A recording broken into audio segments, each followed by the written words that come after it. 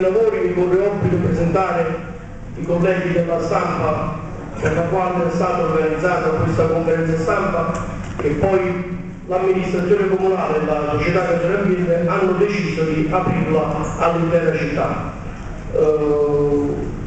Umberto Corsi di Cosmo oggi, Imma Castrobolo di Casoria 2, Marcello Castrobolo Casoria 2, Daniela Imorato dello staff del sindaco, Peppino Di Prato di Casoria ieri oggi online e Giovanni Corcas di Unica Channel. Mancano ma sono come se fossero presenti sia Domenico Maglione del Mattino che Otello Salice del Roma. Ringrazio della presenza e della partecipazione gli amici eh, dell'unità di base dei disoccupati eh, con Gennaro Molino e con il coordinatore Anillo Cioffi è una, una bella cosa avere la loro presenza. Eh, ricordo a microfono, l'ho detto io voce, questa è una riunione tecnica dove Casore Ambiente, che è una società unipersonale adesso, che riguarda soltanto il comune di Casoria,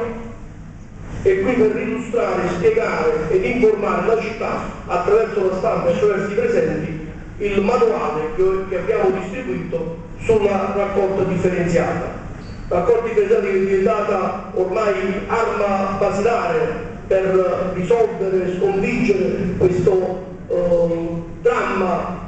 che dovrebbe indignare tutti della continua emergenza rifiuti. Senza di essa sarà, sarà ancora più difficile. E prima di passare la parola a, ai relatori, vorrei anche eh, ringraziare il lavoro intenso, proficuo del management di Casone Ambiente che sta, eh, che sta lottando non solo contro l'emergenza rifiuti, ma anche per portare a conoscenza di tutti questa importantissima battaglia della raccolta differenziata. I relatori saranno il, il presidente della, la, riunione del sindaco di Casoria,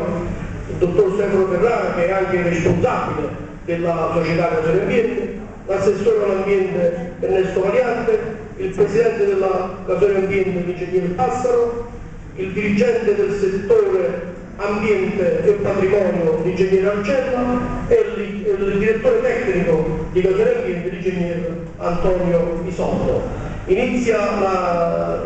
la riunione, la manifestazione l'assessore Ernesto Variante.